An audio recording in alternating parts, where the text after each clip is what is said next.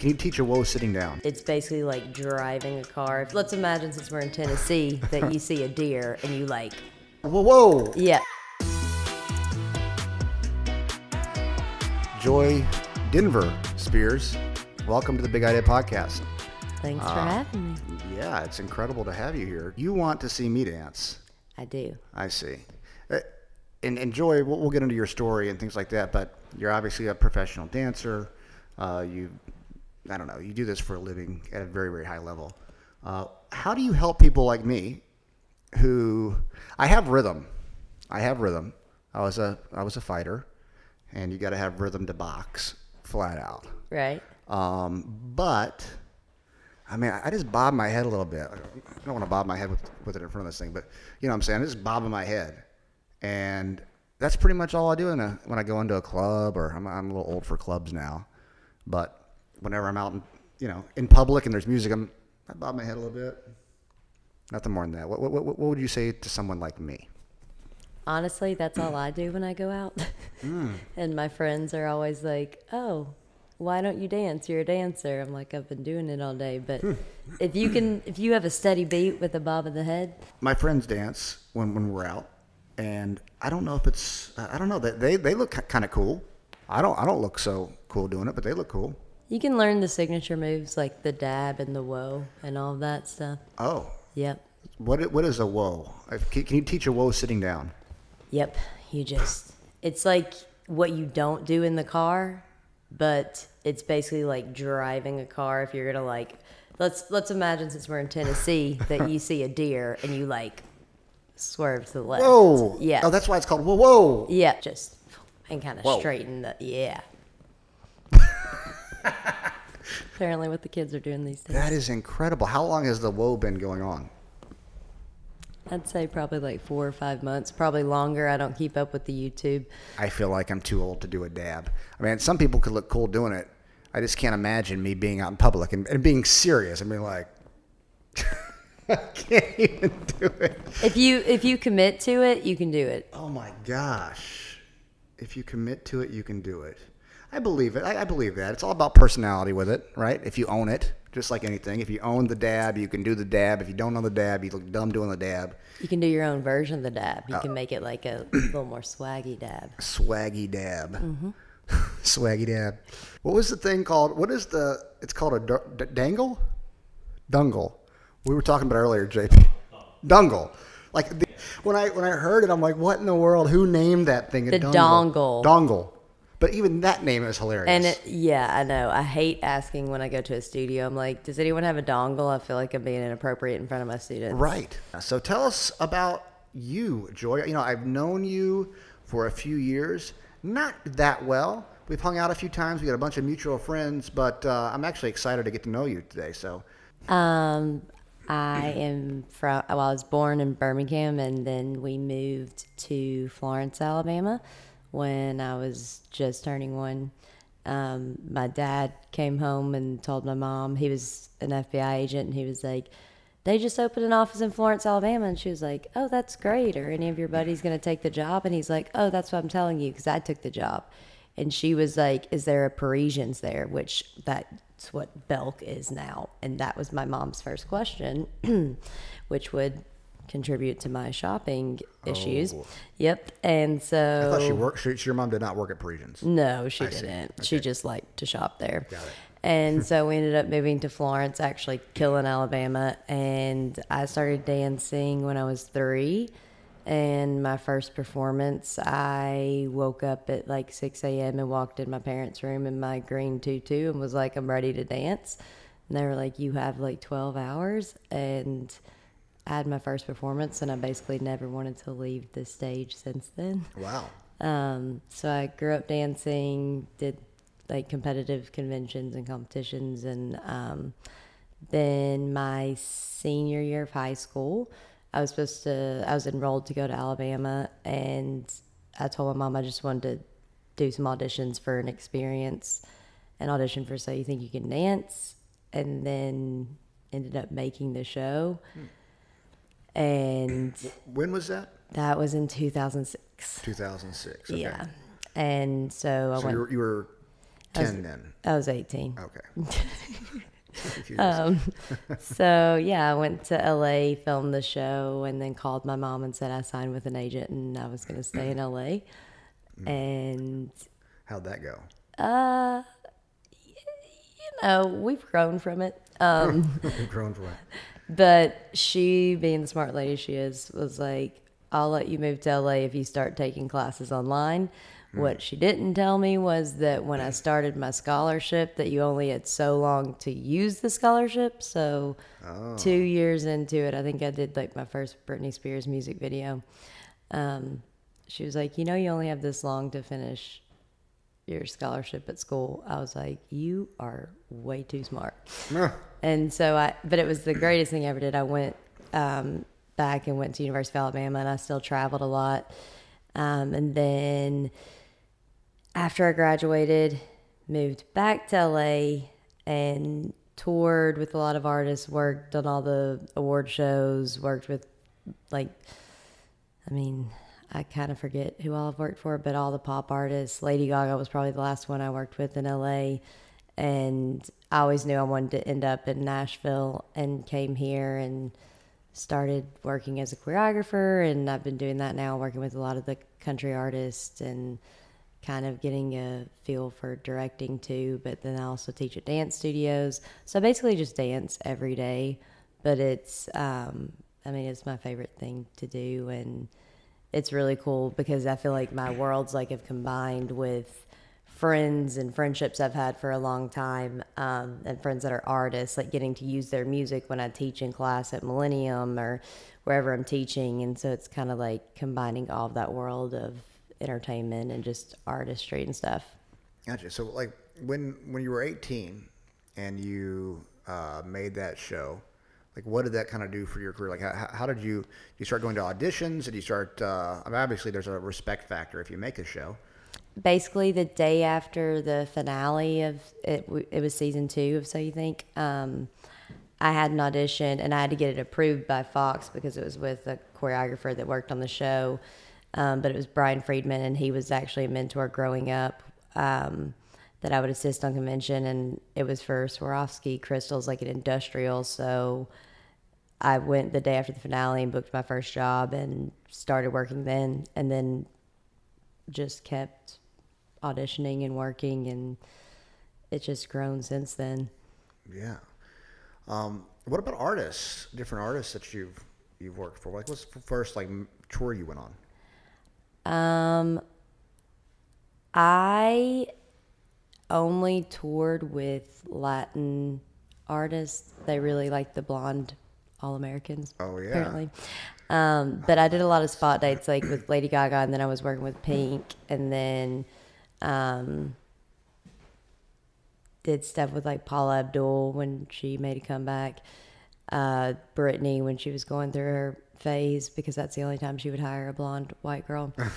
um, and then mainly like doing like award shows and stuff like billboards, VMAs, all of that stuff. And then actually before I moved back to LA after college was the first time that I did CMT awards with Luke Bryan and Big and Rich. And that's when I was like, I'm going to end up back in Nashville. Oh, nice. And now circling back around, like I just did a CBS special for Luke Bryan choreographing it. And I was like, this is crazy how, like, 12 years later, I'm here doing this when that was the first country artist that I danced for. And I work with basically most all of the country artists now. And it's super fun. And they're all very nice and kind of nicer than all the other ones. So, Oh, nicer than the other type of artists. yep.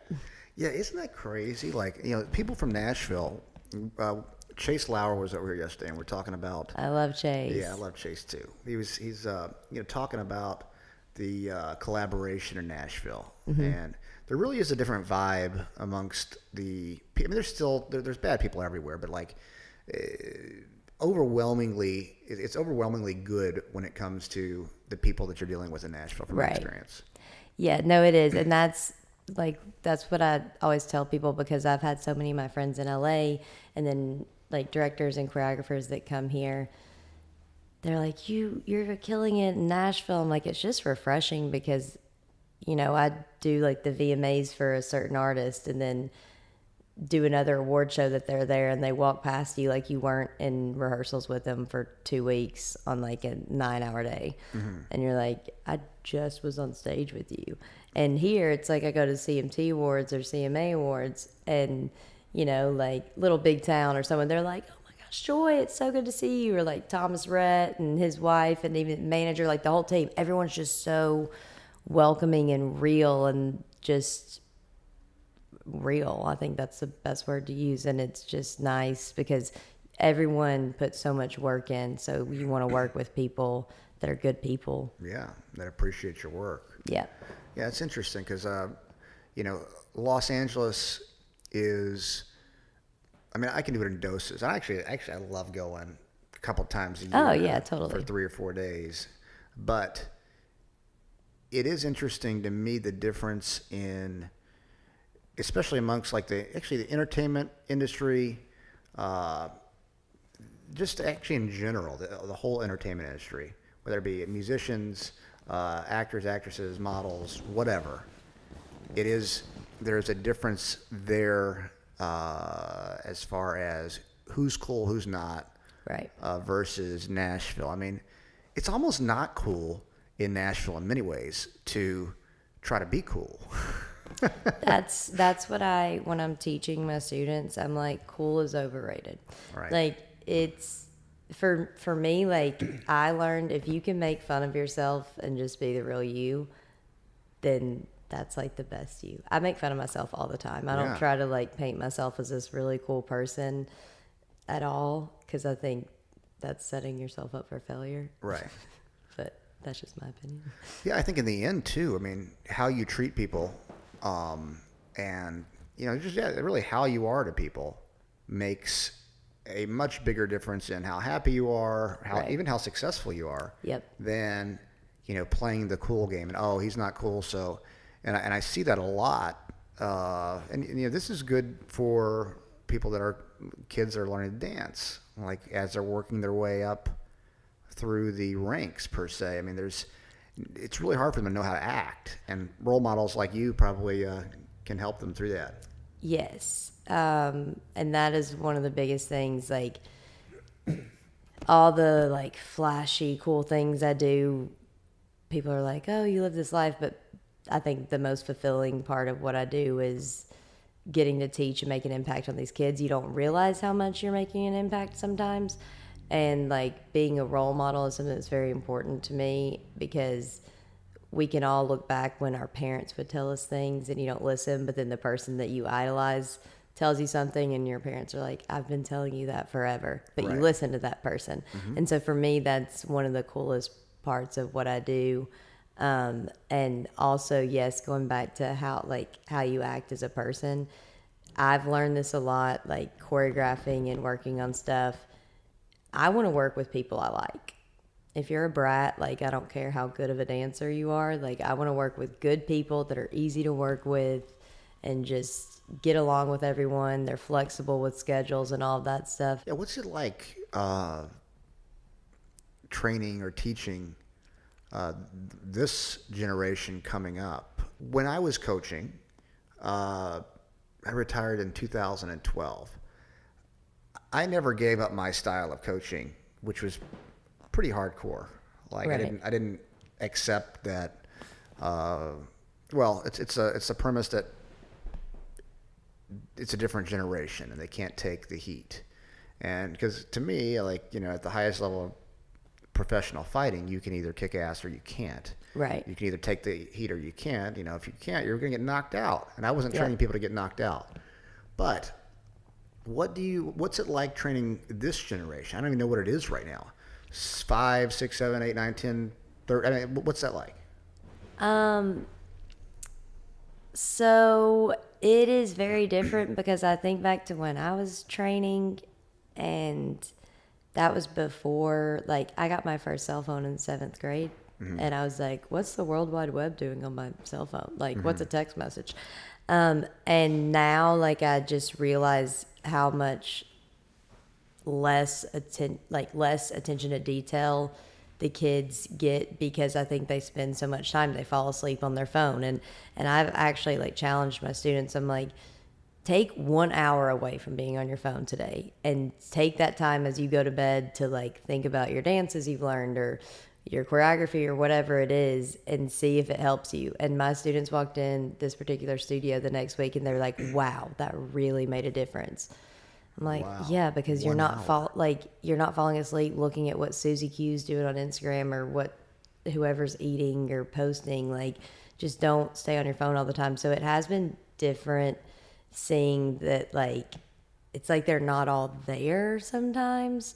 And I don't really I I refuse to change my teaching method. I just really believe in holding really anyone in my life accountable, but especially my students. I'm like, you're capable of doing this. You just have to make the decisions to like prioritize everything. And so, yeah, but it is different than when I grew up for sure. I mean, when you say that they're not all there, what does that mean?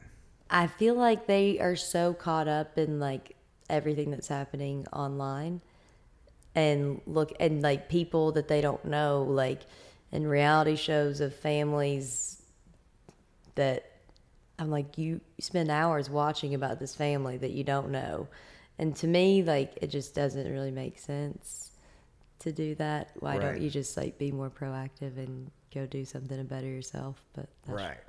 What What would you say to to people that would say that you know there was TV? We had TV when we were growing up, and I did watch a lot of TV. oh yeah i love Saved by the bell So I mean, but what's the difference between TV and, and the internet? Attention wise. Um, I mean, now you can watch TV on your phone, but I just think kids get caught up in like the whole Instagram world, and I guess Oh, okay. what is it, TikTok? That's now the new Yeah, I don't know. I don't. I don't Do either. you have a TikTok? No, I don't. I mean, we got to get TikToks. We could do a dance. That's what we do. We can launch our TikTok. Never mind. Yeah, do a dance. I mean, you're the perfect person. She's the perfect person to launch a TikTok with. We can, we can do the whoa and the dab. Yes, yes, exactly. So yeah, so kids are on TikTok now. Is that like a thing? It's like a big yeah, thing? one of my students in Alabama, I guess, is TikTok famous. That's what I was told. TikTok famous. Yeah, I don't. I don't really. I mean, we got to figure this out. I mean, I, I don't want to be this old dude that does not know what's going on. You know, I, and I have no idea. I don't even know what TikTok is. I, th- actually, I shouldn't say that. I've heard that it's like a, a certain amount of time, and people do dances choreographed. Yeah. We're with one of the best choreographers in the United States right now. This is serendipitous. so uh, we could be the omnipotent dancers, Om- omnipotent, omnipotent dancers. JP, can you look up how you're supposed to say? How do we say uh, I think you're doing it right. o- omnipotent? Omnipotent. It sounds right. yeah, it does. I think you're hitting. I think you're getting it. Yeah. Sweet. Oh my God, who is that? What's her name? That was a sassy little She sounded. voice. She sounded very beautiful. Omnipotent. Wow. Oh my gosh. Stop. That's so funny. Can't handle it. Okay, so that's how you say it. Omnipotent. You know, I think in the future, JP, I think you need a mic, and just we can randomly throw it off to you. Be the color guy. Yeah. Dongle. yes. Yes, I love it. Dongle. Dongle. Yeah. We'll talk about that after, but yeah, that, that could be cool. Um, but, so what were we talking about? Oh, we have the omnipotent uh, Joy here, and um, she's going to teach us how to dance on TikTok. And so, so you, your your students uh, are all on TikTok now, and they're not. In general, you're saying that not necessarily your students. I don't want to like we're not calling them out as not being present, but kids in general are not as present as they used to be. Right, You're yeah. seeing that right now. Yep. Yeah. What is it like? Are they uh, are they not focused? Are you talking in their head somewhere else? Yes, exactly. Like That's I always give an example. I'm like, if you put your arm up, there's like one way to do it, and you can like wave it or you can take it around a different direction. And for me, like when I learn, my brain registers to learn it just how someone does it. Mm-hmm. And what I notice is that they do it their own way, which also is probably just them trying to live their own life. But I always, I'm like, guys, even if you don't want to be a dancer, whatever you do in life, you're going to have to take direction from someone, and it may not always be your decision Sure. of how you're doing it.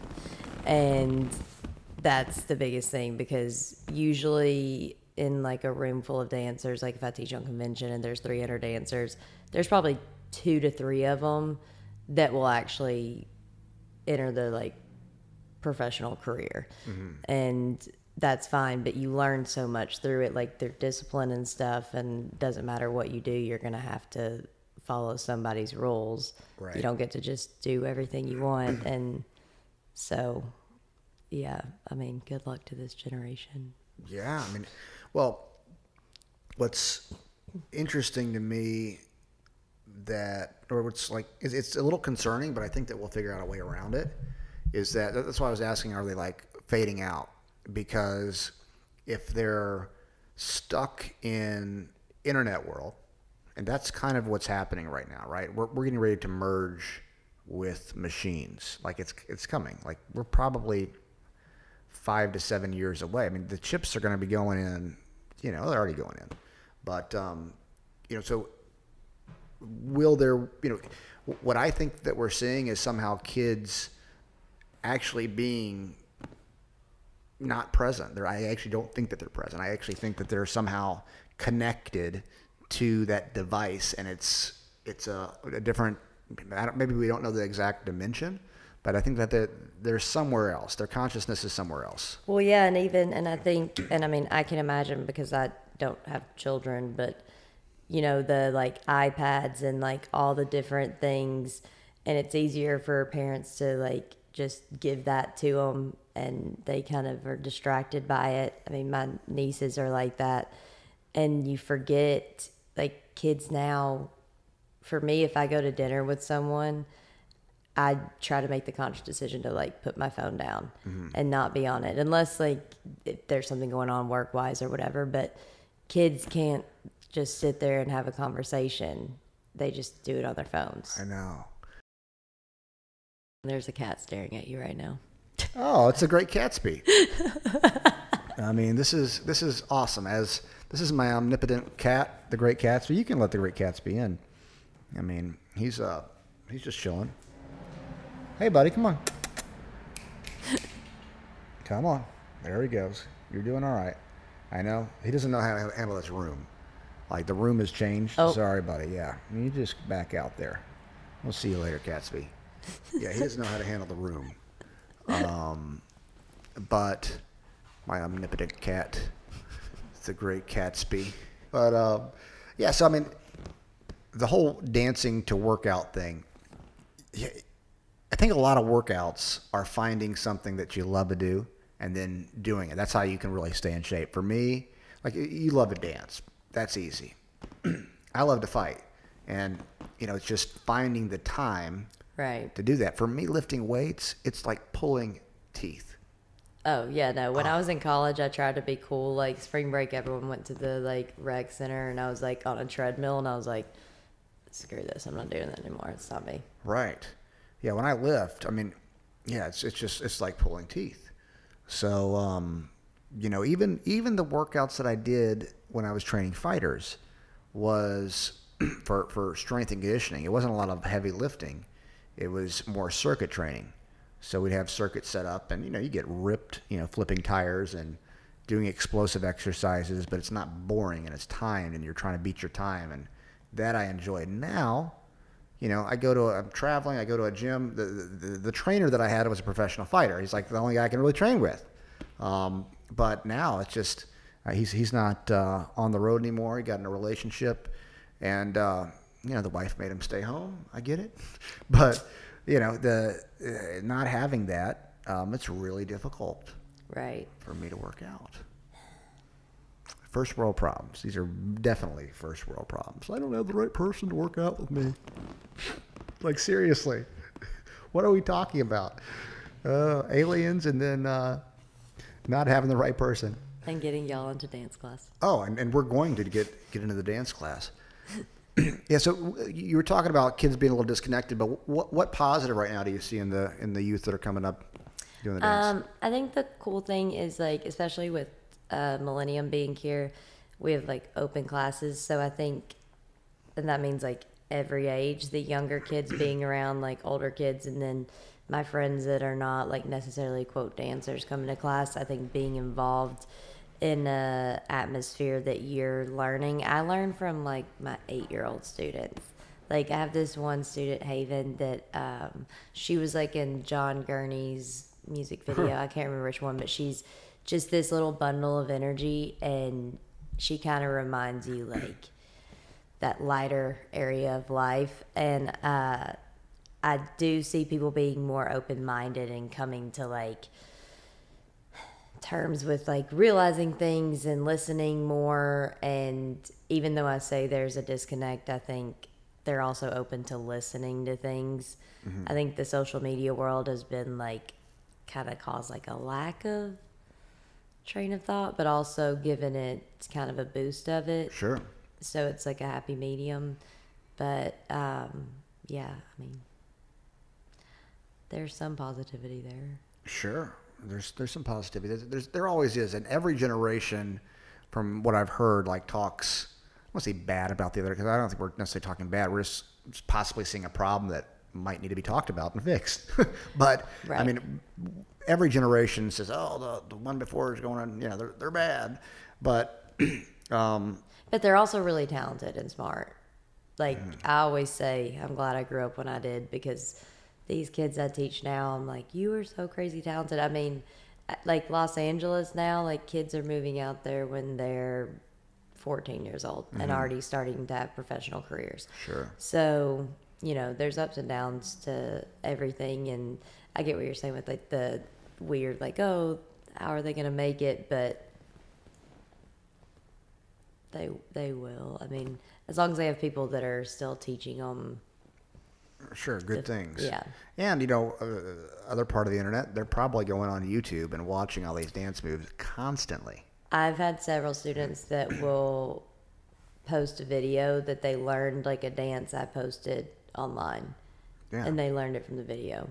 there you go. So they can practice at home. Right. If they get become obsessive, they're just like stuck to that. I mean, because you know, for me, uh, growing up doing martial arts, I would get instructional videos. So I'd get these videos and I would learn how to do an armbar. And you know, now everything's online. I don't have to wait for these VHS tapes, you know, to come in. Not even DVDs. I had VHS. Actually, before that, it was like eight tracks. I don't have to wait for my eight tracks to come in. Yep. and uh, you know, I mean, it's it's it's it's changed uh, a lot. Now you have instant information. So if they want to learn how to dance, they can go and, and catch a video and then go to a class, tighten up a little more. I mean, yeah, I mean, because imagine all these kids in small towns. You know, Nashville's probably got a, a decent dance scene. Your your studio. Oh yeah, there's so many studios here. But I was from a small town, so I had to like travel to get it. But that's the thing, like instant gratification. That's what people are used to with the internet, but that's what they have to learn with learning. Like you don't get that instantly. So that's like a good like kind of scenario of thinking because they can access it, but it doesn't mean that they, They can do it. achieve it. right away. Yeah, sure. I mean, th- that's how it was with, with training fighters. It's like, uh, you know, I had a buddy, Mike Pyle, who learned, you know, a large amount off of videos. And then he just polished it all up. He was one of the best fighters I ever trained. My God. At first time I trained this kid, speaking of this kid, Mike Pyle, I say kid, he was older than me, but I was pretty young when I, when I started professionally. And uh, he came in my gym, and people always say, so mixed martial arts, I'm not sure how much it is like dance, but especially like Brazilian Jiu Jitsu, like you can tell who's good and who's not good by training them. Yeah. Like if, if I'm rolling with somebody, like if they're not good, I'm submitting them. Like you can't hide. Like there's no way. I'm tapping you out over and over and over again. It's like man domination. Like you know it. You know what's up. This is my technique. You don't have any technique. My my technique versus your technique. I'm beating you, etc. So Mike Pyle walked in to my gym, and this is a guy that did mostly learn off of, of videos. And I was like, oh, he's supposed to be good. Whatever. You know, you hear that all the time. Probably like you hear a dancer's supposed to be good, and you're like, eh, okay. you know, all right. And uh, get on the mat. I caught him in a Kimura, which is a specific arm lock, really quick, maybe 15 seconds into our first roll. I'm like, hmm, not that good. Caught him in another Kimura, 30 seconds later. I'm like, this guy's not that good. He's like, hold on a second, man. Hold on. That's his accent. Hold on a second. So he's, let me take my earrings off. I didn't realize he hadn't taken his earrings out. So I kind of caught him early in the in the training. So I was 20, 20 or 21 years old here. And then he took off his earrings and he went on to beat me ruthlessly. I mean, I'm talking about he tapped me out. I don't even know how many times. Just brutalized me. And this is a guy that learned mostly off of videos. I had great trainers up to that point, mostly off of videos. Um, and I went in the back of my own gym and I just cried. I cried for about 15 minutes 'cause I couldn't handle getting beat like that. Like, you know, another man could do that to me. Like, but he did. Um, and so I say that because you got somebody that learned a lot off of VHS tapes. Yeah. My technique, my technique was better to a point, but he was just so gifted with it. Then we polished up a lot of his stuff, um, and he, he went on to be a you know world class fighter in the UFC. But um, he he ended up going to moved to Denmark, trained Thai boxing out there. Then he moved to Las Vegas, and he was one of the main guys at Randy Couture's gym. But um, you know, so I think you can learn, and then you get you know you can polish it up. So some of these kids that are super talented, you know, they could probably watch a dance video and learn like an instructional video and get to a certain level, and then you know at the highest level, then they got to get somebody to polish them up. Yeah, and I think some some people just have a natural thing. I had a little girl come in my class last week, and I was like, "Oh, where do you dance?" You know, weekly, like what studio? And she's like, "This is my first dance class," and I was like, "What?" and it's a small world. It turns out to be like someone that someone's child that works for a record label for a lot of artists I've worked with, and they messaged me. And they were like, "You have no idea." Like she was like, "I just want to go try a dance class," and has so much natural talent. And you see that a lot. There are some people like, and especially with like males, they'll come start dancing later in life and just have a natural ability to it. I'm sitting here, I'm like, I've been doing this since I was three years old. Right. But um, but yeah, I think it's just some people have that natural like knack for things. So so somebody like coming up in the dance world, like what would you uh, really suggest or, or recommend to them? What words of advice would you give to them?